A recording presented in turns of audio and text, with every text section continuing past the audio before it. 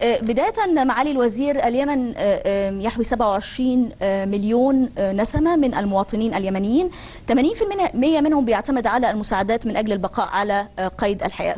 ربما نتحدث عن 58% لا يحصلون على مياه نظيفة. 52% من الشعب اليمني أيضا لا يجد مشفى يداوي جراحه وألامه بشكل عام. إلى أي متى سوف تظل حقوق الإنسان مهدرة بهذا الشكل؟ وهل هناك أكثر من, من هذه حقوق مهدرة للشعب اليمني؟ أولا شكرا لك يا أختي العزيزة على إتاحة هذه الفرصة. وأنا سعيد أن أكون معكم اليوم للحديث فعلا على الملف اليمني الذي هو فعلا ملف معقد بل شديد التعقيد يمكن أن نقول عليه. آه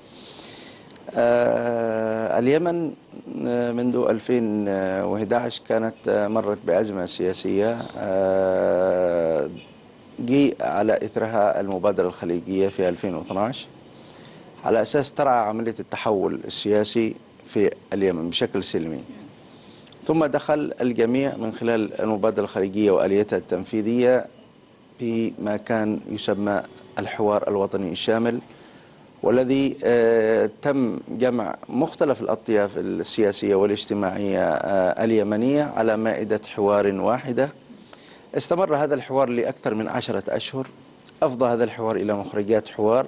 ثم مخرجات الحوار هذه الذي توافق عليها اليمنيون صيغت من خلال لجنة تشمل مختلف الطيف السياسي اليمني في مسودة مشروع الدستور وحينما جئنا إلى اللحظة النهائية لتحويل آه هذه المخرجات إلى دستورا آه يرعى عملية ويؤسس لحقبة جديدة ومرحلة جديدة آه من التاريخ اليمني. تفاجأنا بحصول انقلابا شاملا عسكريا على الدولة وعلى الشرعية وتم احتلال مؤسسات الدولة في 21 سبتمبر 2014 استمر اليمنيون حوالي ستة أشهر يقاوموا لوحدهم هذه الميليشيات ميليشيات الحوثي وكان حينها صالح يدعمهم بشكل أو بآخر. استولت على كل مؤسسات الدولة استولت على مخازن السلاح والصواريخ اليمنية ثم دخل اليمن إلى حقبة وعاد إلى الوراء من جديد.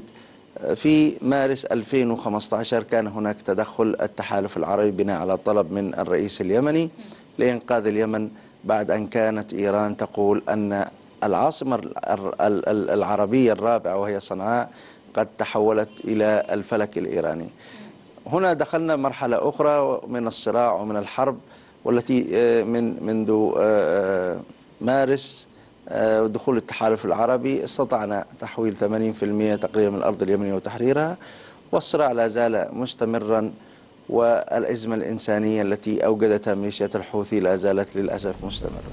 إذا معالي الوزير هل تتفق مع الرأي الذي يقول أن الصراع الدائر الآن هو ليس صراع يمني يمني إنما هو صراع يمني إيراني وما هي دلالات ذلك إذا؟ طبعا ميليشيات الحوثي كانت عبارة عن فصيل صغير للغاية يعني عدد مقاتلون لا يزيد عن 20 إلى 30 ألف في بلد مسلح ولديه من القبائل الكثيرة أكثر من 27 مليون يعني 20 ألف 30 ألف ولا شيء يعني. لكن كان هناك فعلا دفع خارجي بشكل كبير. وكان هناك توجه لدى القيادة السياسية أن هؤلاء لماذا لا نشركهم في العملية السياسية حتى يتخلوا عن العنف ويحققوا أغراضهم وأهدافهم بالوسائل السياسية المشروعة. ولذلك تم إعطائهم حصة أكبر من حجمهم بكثير في الحوار الوطني. وشاركوا في صياغة مخرجاته. وبالتالي هم كانوا جزء من العملية السياسية. إلا أن الطرف الخارجي الذي كان يدفعهم لتحقيق أجندة وهي إيران دفعت بهم خارج السرب اليمني. وذهبوا بحوالي عشرة من الأطقم العسكرية إلى عمل مناورات على حدود الأشقاء في المملكة العربية السعودية بنوع من الاستفزاز.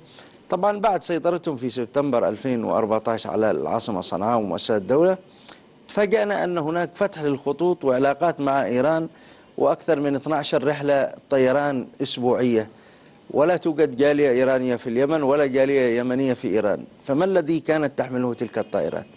كل تلك المؤشرات أكدت أن اليمن ذاهب بقوة نحو الاستقطاب الإقليمي الذي تقوده إيران وكان سيشكل ليس خطرا بالمناسبة على اليمن فحسب بل خطرا على الجزيرة العربية لأن اليمن تعتبر البوابة الأساسية للجزيرة العربية عبر التاريخ. ولذلك كان لابد للتحالف العربي أن ينشأ ولابد للعرب أن يتقدموا لأنه إذا لم تقم اليوم ال- الدول العربية بالدفاع عن اليمن وتحولت هذه المساحة الجغرافية ال- الاستراتيجية بيد طرف غير عربي سيكون عامل مهدد بكل تأكيد للأمن القومي العربي. ولذلك حصل التحالف العربي ونحن الآن في السنة الرابعة منه.